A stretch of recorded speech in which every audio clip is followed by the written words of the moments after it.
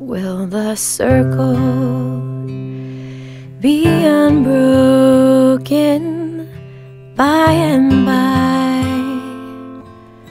By and by is a better home awaiting in the sky.